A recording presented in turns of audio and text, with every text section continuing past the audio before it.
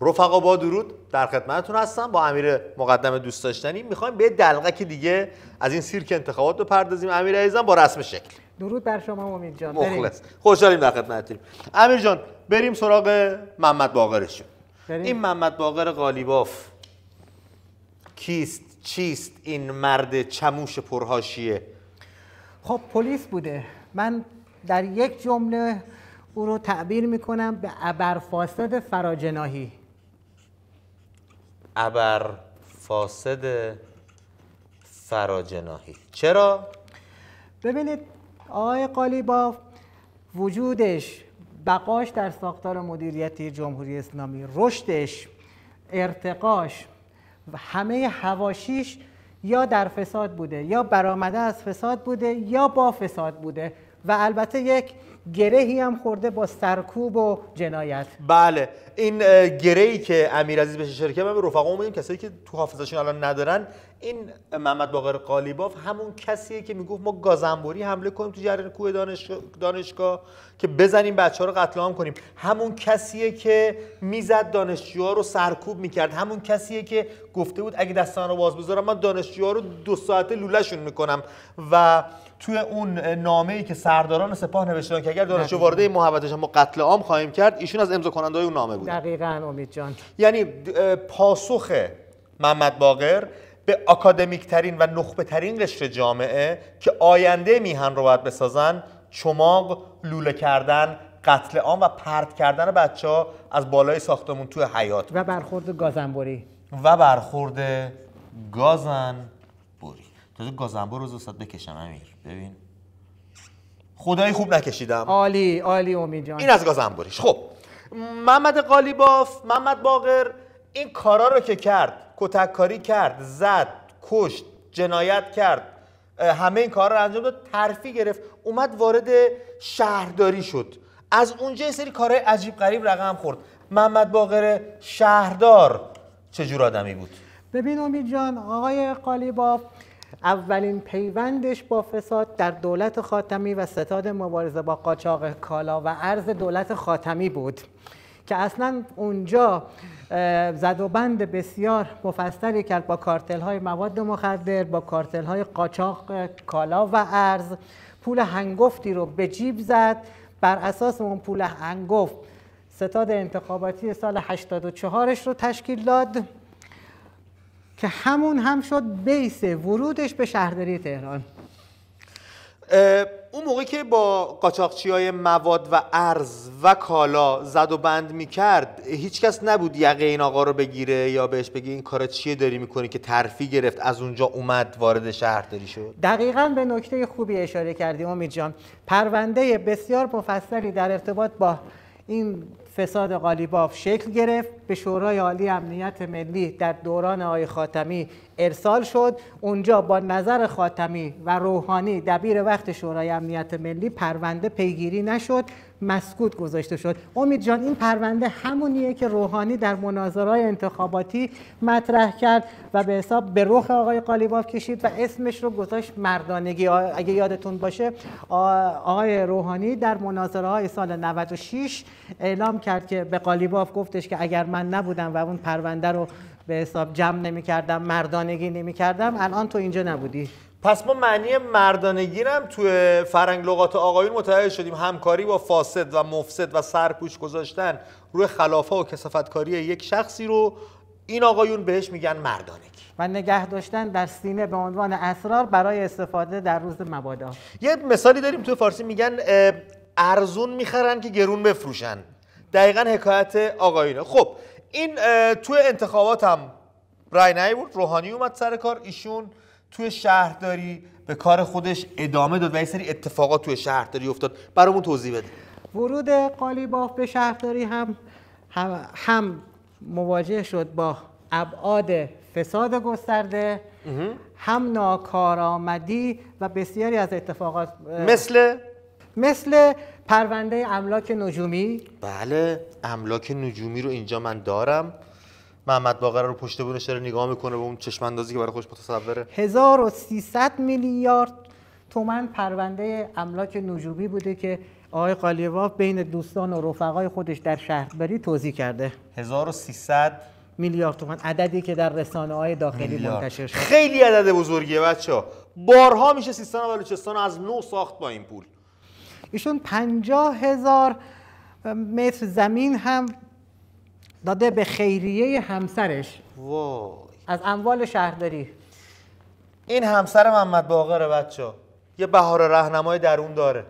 اگه دقت کنید به چهرش پنجاه هزار متر زمین گرفته که چیکار کنه توش؟ خیریه بسازه. پنجاه هزار متر؟ شما بگوین خیریه اصلا خیرش به کی رسیده؟ این هم پرسش خوبی این خیرش به کی رسیده؟ اصلا چیه این خیریه؟ واقعا عملکردش چیه؟ چه کار کرده؟ در شهرداری اتفاقات دیگه هم محمد باقر رقم زده.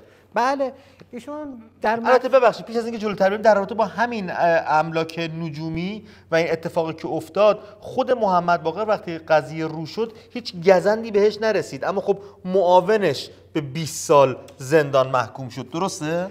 بله ظاهرا به 20 سال زندان عیسی شریفی محکوم شد. اما اینکه واقعا زندان هست اینکه واقعا این حکم اجرا شد هیچ اطلاع دقیقی وجود نداره هیچ شواهدی هم این رو تایید نمی‌کنه همینی که توی مجموعه زیر دست تو یعنی یک. توی یک مجموعه خلافی اتفاق میفته یک فسادی اتفاق میفته به رئیس کاری ندارن زیر دستی رئیس رو می‌برن این خودش بیانگر همه جور زد و بند و فساد دقیقاً. و پارتی بازی هستش آقای قالیباف در اوایل ورودش به شهرداری متهم اخلال در نظام اقتصادی کشور هم بوده به این معنی که در مقطعی بحران سکه در کشور ایجاد شد. آقای قالیباف هم دقیقا در همون مقطع شروع کرد به سکه ها رو از بازار جمع کردن. البته بعدا هم این اتهام رو قبول کرد و پاسخ داد که من می‌خواستم مطالبات پیمانکاران رو پرداخت بکنم که خب پاسخ قانع کننده ای نیست. اساسا باید اگه پرداختی هم انجام میشه با ارز رایج کشور انجام بشه. خب این این تعریفی که شما کردید از این کار یک خلاف کاملا آشکاره. چرا هیچ اتفاقی برای محمد باقر نیفتاد وقتی این کار رو انجام داد؟ آقای قالیباف یک مسئولیت آهنین در برابر همه نوع فساد داره. یعنی کمتر آدمی به, این به همه من معتقدم همه مقامات و مسئولین جمهوری اسلامی فاسد هستند. اما مگه عکسش ثابت شه؟ مگه عکسش ثابت بشه؟ اما آقای قالیباف جز کسانی هستش که بیش- بیشترین فساد اوریان رسانه‌ای شده بی ملاحظه رو داره. علا رغم همه اینها هیچ برخوردی هیچ وقت باش نشده و همواره هم ارتقا گرفته. این نکته جالب شما که برخوردی که با محمد باقر نشده ارتقا هم گرفته یک نمونه بارزش رو می‌تونیم به برخورد حسن خمینی باهاش اشاره بکنیم که پس از اون کسافت کاری که تو شهرداری کرد اومدن مجسمهش رو ساختن براش جشنم گرفتن راهیش کردن که بره تکیه بزنه بر مسند مجلس شورای اسلامی. بزنم به این است که شما نشون دادی امید جان. ببینید مشهور بین اهالی سیاست و کسانی که مطلع هستند مطلع هستند که آقای قالیباف در تمام دوران شهرداری تهران علی اشراقی رو به عنوان مسئول کمیسیون ماده 5 حفظ کرده. آقای اشراقی که مسئول کمیسیون ماده 5 بوده و گلوگاه ساخت و ساز در شهر تهران هستش تقریبا از زمان کرباسچی تا همین مدتی پیش مسئول این گلوگاه بوده. مشهوره که ایشون سهم حسن خمینی رو از فساد مدیریت می‌کنه و پشت این حرکت هم می‌تونه همین باشه. آه یعنی حسن خمینی خودش نمیاد جلو که یه موقع خود نکرده برچسبیش بچسبه وای میسه گوشه کارا رو هدایت می‌کنه و سهمش رو میدن بهش. بله بله. بسیار عالی. خب آیه مقدم دوست داشتنی. این آقا اومد با حمایت دوستانی که داشت تمام خلافکاری هم کرده بوده کسی به روش نیاورده یه حمایت چشمگیر ازش کردن. اومد شد رئیس مجلس شورای اسلامی. جایی که به خانه ملت مشهور هستش. جایی که تصمیم‌ها برای زندگی و معیشت مردم درش گرفته میشه. اینجا باز دوباره یه سری اتفاقات دیگه رقم خورد از طرف محمد باقر. امید جان برخورد مؤمنانه رو شنیدید که در ارتباط با صدیقی و زمینخواری صدیقی بله گفتم؟ مؤمنانه باش برخورد کنید بله شاید پیشکسوت برخورد مؤمنانه از نظر کسی که باش بیشترین برخورد مؤمنانه شده آقای قالیباف باشه و از پیشکسوت های برخورد مؤمنانه هم همین آقای روحانی هستش. یعنی شما ببینید آقای روحانی و خاتمی مثلا در ارتباط با فساد قاچاق کالا و ارز با ایشون چه برخورد مؤمنانه ای کردن در اون مقطع. بله مرتب ایشون شامل برخورد مؤمنانه شده و حالا هم رئیس مجلس شده. بله تو مجلس هم یک سری خلافا رو انجام داده سری فسادها اونجا بودش. در رابطه با اونها اگه بر ما صحبت کنین ما رو آگاه کنیم ممنون میشم از امیر عزیز. یکی از مهمترین فسادهای ایشون در مجلس بحث خودروهای شاسی بلند بود.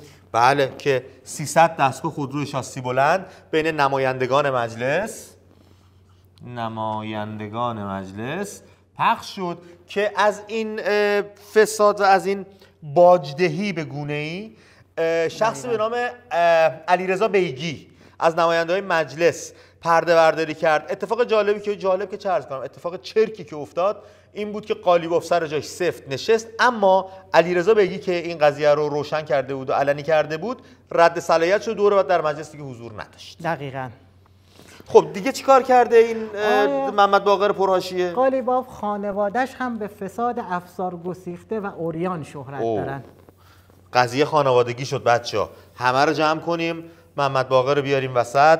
یه فلش بزنیم به خانواده خب از خانواده ایشون ما همسرشون که داشتیم با یه بهار رهنمای ریز درونشون اما این آقا دو فرزند داره قالیباف سه فرزند داره الیاس خب. اسحاق و همین مریم مریم خانم ادایی که این روزها مردم ایران بیشتر با بله. چهره و ماهیت دروغگوش آشنا شدن خب اون از اسحاقش اینم از الیاسش مریمش هم بکشم دیگه.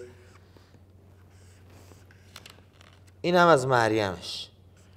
البته اینا اینجوری که نیستن که. نه اینا واقعا ریاکاریه. چون به خلوت می‌روند آن کار آن دیگر, کار دیگر می‌کنن. ما چون تو خلوت نرفتیم باشون آن کار دیگرشون رو ندیدیم این کارشون که دیدیم که اینو می‌کشیم. اینها. این مریم. اتفاقا این دختر عین باباشه. پررو وقی پاچه پاره دریده و طلبکار. همین که تلویزیونی که قرار بود ملی باشه الان میلی شده پربیننده ترین ساعتش رو که باید اخبار جهان رو به گوش مردم برسونه از دغدغه‌های مردم بگه از کارهایی که برای آسایش و رفاه زندگی مردم در دستور کار دارن گفته بشه نه. میدن دست دختر قالیباف بیاد با اون لحن لومپن چاله می‌دونی و بسیار سخیف شروع کنه بگه نه ما کاممون تلخ شده و مسائلی از این دست. این خودش نشانه بارز از فساد و سوء استفاده از قدرت هستش. چرا باید آنتن تلویزیونی که قرار بود ملی باشه در پربینندترین ساعت دست همچین خانمی باشه؟ آقای اسحاق هم جزء متهمان و دوستان بسیار نزدیک هادی رضوی است. هادی رضوی؟ کیه الیاس ببخشید. الیاس قالیباف کاری نداره من سر فلشام میارم اینجا. بله. جز دوستان نزدیک هادی رضوی داماد محمد شریعت بداری است که در اون پرونده اختلاس بانک سرمایه و اینها مطرح شد و رسانه ای شد. در مجموعه شمس و شموس هم که در همون جریانات فساد هم رسانه ای شد با هم شریک هستن. بله. یه همه با هم هستن خیلی واضحی بین همه خلاصه مسئولین جمهوری اسلامی جریان داره سر این سفره. بسیار عالی. اگر بخوایم به جنبندی برسیم راجع به کارهای محمد باقر می‌تونیم بگیم محمد باقر بچه ها سرکوبگره. محمد باقر نخبه ترین و اکادمیک ترین قشر جامعه رو می‌خواست لوله کنه دانشجوها رو. محمد باقر بچه ها وقتی پاش به شهرداری رسید فساد املاک نجومی رو رقم زد. از پول شهرداری به کارمندا پرداخت نکرد به پیمانکارا پرداخت نکرد به جاش طلا و سکه خرید که سود ببره. همون طلا و سکه رو با قیمت هر جا رو دارم اشتباه می‌کنم بهم بگو. بیشتر به جای حقوق به کارگرا دادش. محمد باقر قالیباف با قاچاقچیان مواد دارو و کالا همکاری می‌کنه. محمد باقر سیسمونی گیت هم داره. این داشت دستم در می‌رفت. من اینم راجعش برام خواهش می‌کنم توضیح بده. همین دختر پررو پاچه پارش برای اینکه بچهش دنیا بیاره رفته بود ترکیه 290 کیلو سیسمونی آورده بودن. این هم یه توضیح واسه ما بده. چون نکتهش اینه. همین آقای قالیباف در مجلس قانون تصویب کرده شورای نگهبان تایید کرده ابلاغ کردند که از تولیدات داخل استفاده بشه. همین سیسمونی بهترینش در تهران وجود داره برای کسی مثل آقای قالیباف که خب وضعیت مالی خیلی خوبی داره دسترسی بهش به راحتی ممکنه ولی میره از ترکیه خرید می‌کنه. این دقیقا ایرادیه که در مناظرات انتخاباتی سال 96 از وزیر آموزش پرورش حسن روحانی محمد باقر گرفته بود که رو به مردم گفت مردم وزیری که میره لباس بچه از ایتالیا میاره فکر می‌کنید اقتصاد کشور رو می‌تونه درست کنه؟ حالا دخترش 290 کیلو فقط سیسمونی آورده از ترکیه بعد میاد چشم مردم نگاه می‌کنه میگه من نبودم. یه جنبندی بخوایم بکنیم با تمام این پروندهایی که داشته گندایی که زده رانتایی که گرفته باجهایی که داده اختلاسی که کرده آدمایی که لاکار داده و لادر داده رفتن اگر محمد باقر از صندوق انتخابات جمهوری اسلامی بیاد بیرون چه آینده در انتظار مردم؟ ببینید من اشاره بکنم به حرف خود قالیباف. خودش گفته بعضی افراد برای پست و مقام هویت و شخصیت خودشون رو زیر سوال می‌برن. من می‌خوام بگم قالیباف بی هویت ترین و بی شخصیت ترین کارگزار جمهوری اسلامیه که برای پست و مقام به هر دری زده برای رئیس جمهور شدن رکورد کاندیداتوری رو از محسن رضایی هم زده. شوخی می‌کنی امیر. دقیقا یک دور از, از محسن بیشتر بله بله. یک دور از محسن بیشتر کاندید شده. آفرین محمد. حتی من اینو به شما بگم. این دوره به نماینده های مجلس تعهد داده بود که اگر رئیس مجلس بشم کاندید نمیشم. اما زیر تعهدش زد.